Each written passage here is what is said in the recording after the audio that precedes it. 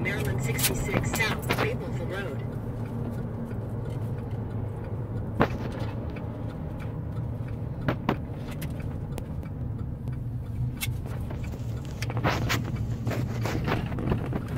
Continue on Maryland 66 South for 4 miles.